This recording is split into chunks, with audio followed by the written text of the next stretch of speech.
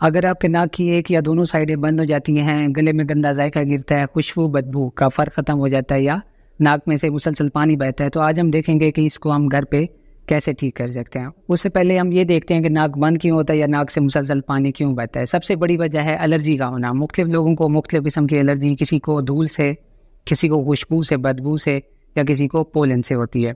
कुछ लोगों ने घर में जानवर रखे होते हैं तो उनके बालों से भी कुछ लोगों को एलर्जी होती है। कुछ मरीज़ हमारे पास आते हैं जो कहीं पे खाना पकाते हैं, मुसलसल उनके नाक में धुआँ जाता है या गर्मी जाती है कुछ लोग पेट्रोल पंप्स पे काम करते हैं तो उसकी जो स्मेल होती है, उसकी वजह से नाक का जो हमारा म्यूकोस है, जो अंदर की जिल्द है, वो मुसलसल इरीटेट होती है, यानी कि उसको एलर्जी हो जाती है। जब वो होगा तो हमारा नाक पहले तो एलर्जी की तरफ़ जाएगा, उसके बाद नाक में गदूद, जिसको हम नेजल पोलिप कहते हैं, वो बन जाएगा। या इसको हम कहते हैं कि नाक की जो थैलियाँ हैं, वो थोड़ी सी सूझ जाती हैं। एक साइड पे सोचेंगी तो एक नाक बंद हो जाएगा, अगर दोनों साइड में है तो फिर दोनों नाक का हमें मसला शुरू हो जाएगा। तीसरी बड़ी वजह है नाक की हड्डी का टेढ़ा होना। जब नाक की हड्डी टेढ़ी होगी तो उससे क्या होगा? नॉर्मल जो नाक का काम है, वो डिस्टर्ब होगा। कुछ लोगों का मुदाफ़ियती निज़ाम इतना कमज़ोर होता है कि बाहर से कुछ भी हवा के ज़रिए अंदर चला जाए तो उससे उनको एलर्जी हो जाती है। तो ये एलर्जी जब काफ़ी अरसे के लिए रहेगी तो फिर हमारा नाक आहिस्ता आहिस्ता बंद हो जाएगा। अगले नंबर अगले नंबर पे कुछ लोग नेजल स्प्रे यूज़ करते हैं, जिसका इस्तेमाल बेदरीग या बेफ़ायदा किया जाता है, जो कि नुकसान थे होता है।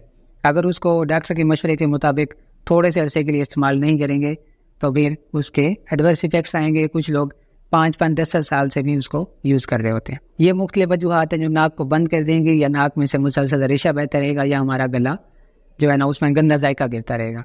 अब आते हैं कि इसमें अलामत कौन सी आएँगी सबसे पहले तो यही तीन चीज़ें आ जाएँगी। अक्सर लोगों को सर में दर्द रहता है मुँह भारी रहता है या आँखों के इर्द गिर्द दर्द होता है।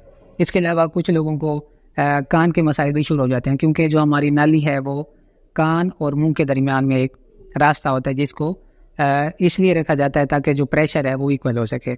जब हमें मसला होगा नाक का तो हमारे कान में भी प्रॉब्लम्स होगी और कान में भी दर्द होगा या उसमें खारिश होगी या आवाज़ सुनाई देगी। अलामत के बाद आप चलते हैं कि इसका हमने ट्रीटमेंट कैसे करना है। इलाज घर पे उन केसेस का होता है, उन मरीजों का होता है जिनको माइल्ड सी सिम्टम्स हैं या कभी कभी थोड़ा बहुत नाक बंद हो जाता है या हल्का सा पानी आ जाता है। तो उसमें क्या है कि आपने एक गहरा सांस लेना है, उसको अंदर रखना है, उसके बाद मुँह को बंद कर लेना है और नाक को भी बंद कर लेना है। अब अपने ज़बरदस्ती सांस को जो है ना बाहर की तरफ़ निकालना है।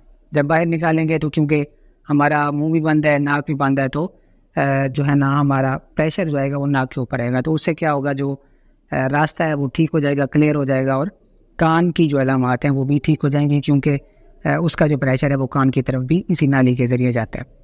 ये एक छोटा सा टिप है जो हम घर पे इस्तेमाल करते हैं। उसके बाद हम रिकमेंड ये करते हैं जब भी आपको नाक का मसला हो आपने आ, किसी भी एडवाइस के बगैर नेज़ल स्प्रे यूज़ नहीं करना। कुछ लोग डीकंजेस्टेंट नेज़ल स्प्रे यूज़ करते हैं और वो ओवर द काउंटर इतना यूज़ करते हैं कि नाक की इन्फ्लेमेशन हो जाती है नाक में हदूद बन जाती हैं पोलिप्स बन जाते हैं।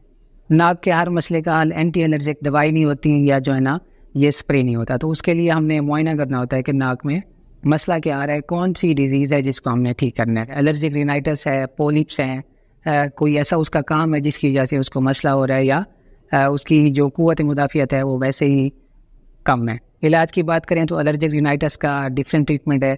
उसके बाद आ, कुछ लोगों में साइनोसाइटस होता है यानी कि यहाँ पे हमारे हवा के खुली होते हैं साइनसेस होते हैं, इस साइड पे होते हैं, यहाँ पे होते हैं, नाक के करीब में होते हैं और एक पीछे होता है।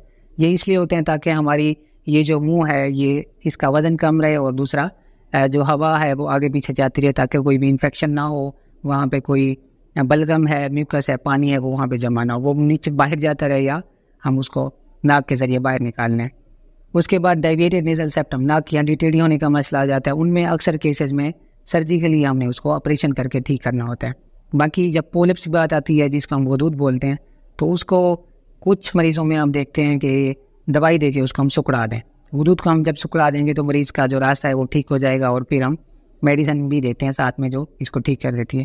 लेकिन अगर बहुत ज़्यादा है और पीछे टर्मिनेट्स की साइड्स पे हैं और उनकी जो नंबर है, वो बहुत ज़्यादा है तो फिर हमें सर्जरी की तरफ़ जाना पड़ता है।